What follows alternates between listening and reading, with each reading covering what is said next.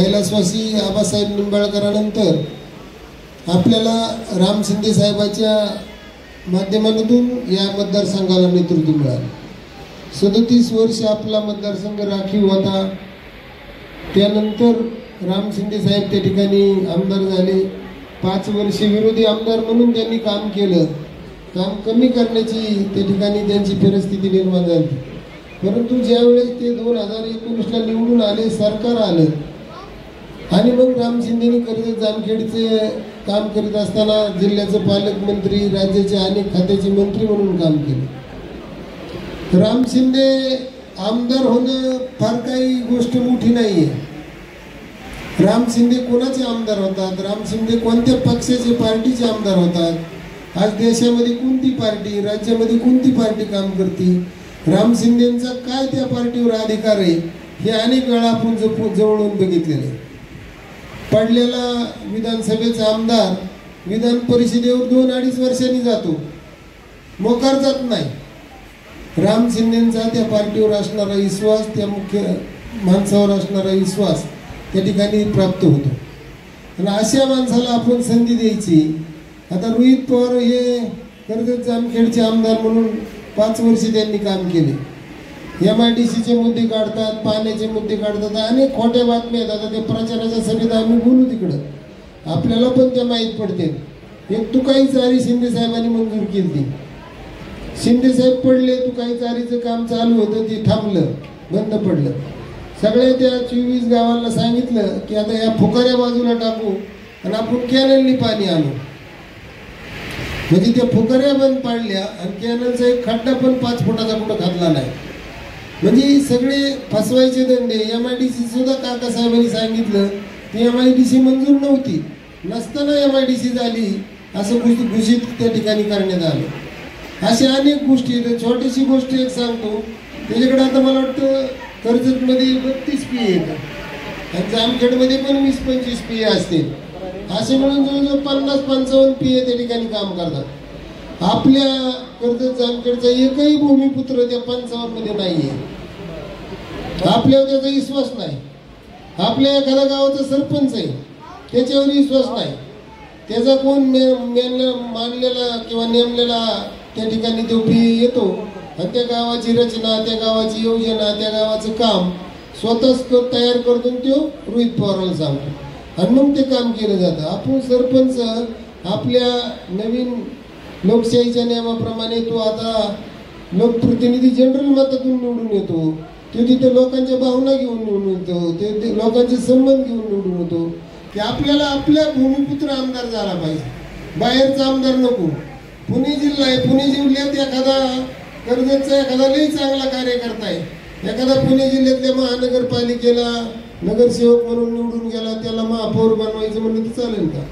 बारामतीत एखादा जमन का आमच्या कर्जत जामकडचा एक लय सुज्ञ आणि सुशिक्षित चांगला काम करणारा कार्यकर्ता आहे. आपण बारामतीत उभा करू तुम्ही तुमच्या जागेवर उभा राहा. पवार घराण्याने काही सगळं राज्याचं टेंडर घेतलं असं नाही ना? दोन तीन आमदार आहेत दोन तीन खासदार आहेत. अजून दोन चार होऊ घातलेत. पुढची सुद्धा काही अजून पुढे निर्माण होणार आहेत ते सुद्धा? पाय सहा अख्ख्या राज्यात पेरायची भूमिका त्या ठिकाणी चालू आहे? त्यांनी मला वाटतं इथं मगरपट्ट्यात बी सर्वे केलता हडपसरमध्ये कर्जतमध्ये सर्वे केलाय आणि खाली पण कुठं मराठवाड्याच्या ठिकाणी सर्वे केलाय. हे सर्वे यांचे सगळे चालूच आहे म्हणजे कुठं जायचं तर पवारांनीच जायचं. अशी ही भूमिका झालेली. आपली लोकशाही ही लोकांच्या विचारावर मतावर चालणारी. सगळ्या जगापेक्षा आपली लोकशाही श्रेष्ठ आहे. कामावर चालणारी श्रेष्ठ आहे. विश्वासाने चालणारी लोकशाही आहे. आपल्याला काम बघितलं पाहिजे. ठीक आहे राम शिंदेंनी आणि मागच्या पंचवार्षिकमध्ये जी मंत्री असताना जे काम केलंय कर्जत जामखेडमध्ये टँकर मुक्त तालुका करण्याचा त्यांनी त्या ठिकाणी प्र- प्रयत्न केलेला आहे. इतकं जलसंधारणचं मोठं काम खात्याचे मंत्री होतेच पण जिल्ह्याचे पालकमंत्री होते. एकही गाव असं नाही की त्या ठिकाणी रस्ता डांबरी जात नाही एकही वस्ती अशी नाही की त्या ठिकाणी रस्ता नाही. मग एवढं काम करून सुद्धा राम शिंदेना अपयश का आलं? हा खरा मुद्दा आहे. विकास तर कुणी करणार आहे निवडून येईन ते पण इतकं चांगलं काम करीत असताना निवडून येणं म्हणजे राम शिंदे बाबत निगेटिव्ह वातावरण त्या ठिकाणी तयार केलं आणि आपली कर्ज जामखेडची जी मतदारांना त्या ठिकाणी फसवून आमदार झाले आणि निरनिराळे आश्वासनं देऊन त्या ठिकाणी आपल्याला त्यांनी अडचणीत आणले. आपल्या तालुक्यातला आपला माणूस शिंदेसाहेबाची दोन चार लोकांनी उदाहरण दिली. तीस चाळीस लाखाचा इसार दिलेल्या जमिनीचा घराचा सौदा फक्त शिंदे साहेबांमुळे वाचला. काय करू शकतो माणूस? लोकशाही ही अत्यंत महत्वाचं माध्यम आहे. मग मी त्याचा पाठपुरावा म्हणून मंत्रालयात आलो मग तुम्हाला जर इथं मंत्रालयात यायचं असेल तर मला कशाला काम सांगितलं? तुम्हाला मंत्रालयाचं काय कारण आहे? आणि राजू आधीच थोडा बाजूला गेलता हे काहीतरी बोलून म्हणून राजू कुंड त्याला म्हणलं बरं का काका तुला पण सांगतोय मंत्रालयात यायचं काही कारण नाही. मला ते आवडत नाही. म्हणजे काय बारामती आग्रो आहे का मंत्रालय म्हणजे प्रायव्हेट लिमिटेड नाही ना मंत्रालय. हे मंत्रालय राज्याचं आहे. ही काम करण्याची पद्धत नाही कार्यकर्त्याला आरोग्य बोलणं त्याला सन्मानाची वागणूक न देणं याच्यात काय लोकशाही म्हणतात त्याला. मी माझ्या जिल्हा बँकेच्या इलेक्शनला उभं होतो. सगळीच उठली माझ्यावर. म्हणजे बरीच कार्यकर्ते राष्ट्रवादीची अजितदादा त्यावेळेस एकच होते. अजितदादा असतील रोहित पवार असतील थोरात साहेब असतील अनेक लोक माझ्या विरोधात गेली. आणि दमदाटी करून लोक घेऊन गेली. शेहेचाळीस लोक त्यांनी बारामतीला नेली मतदार शहात्तर मतदान होतं. आणि उरलेली राहिलेली थोडीफार लोक माझ्याबरोबर होती. सगळीजण म्हणायचे आपलं काय होईल? मी म्हणलं आपलं काय नाही होत आपलं ठीक होईल.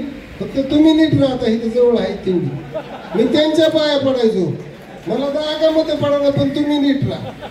मी त्या ठिकाणी छत्तीस मताच्या फरकाने छत्तीस मतांनी निवडून आलो तेव्हा राम शिंदे साहेबच माझ्याबरोबर होते. राम शिंदे साहेबांवर आमच्यावर जो विश्वास होता लोकांचा हा विश्वास त्या ठिकाणी ठाम होता. तसं आपल्याला शिंदे साहेबाला मत द्यायचं का नाही द्यायचं ते मग नंतर बघू आपण. पण आपल्याला राम शिंदे साहेबाला विश्वास द्यायचा आहे. नुसता विश्वास नाही द्यायचा की आपलं माइंड पण नीट झालं पाहिजे की राम शिंदेलाच का मत द्यायचे राम शिंदे तर आमदार आहेतच अजून चार वर्ष तर पुन्हा होते ना आपोआप. राम शिंदेला आमदार व्हायचं अवघड नाहीये आपल्याला अवघड आहे म्हणून ही गोष्ट आपण त्या ठिकाणी विचारात घेतली पाहिजे.